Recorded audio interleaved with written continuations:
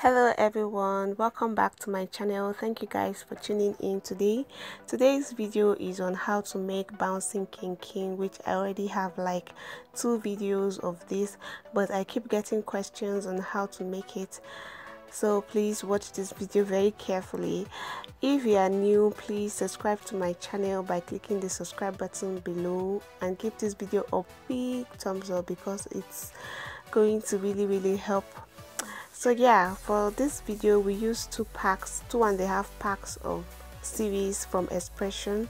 It's expression product so just watch the video very very carefully because i don't really know how to go about the explanation but try to watch this video to the end so that you can easily learn how to make bouncing kinky so yeah i also want to know if you guys want a vlog from me and the kind of videos you want to be seeing on this channel because this is a new year. I want to impact knowledge withholding nothing from you guys like inspire someone out there. So that's what that's my goal for this year. That's what i want to do this year. So let me know what you guys think what you want to be seeing on this channel. And um, yeah and then i want to use this opportunity to say thank you all for this support this past few months. The comments and the likes are very very encouraging and they are amazing. Uh, the comments especially are really amazing. Thank you guys. It gives me more inspiration to keep uploading videos for you guys. Thank you so much.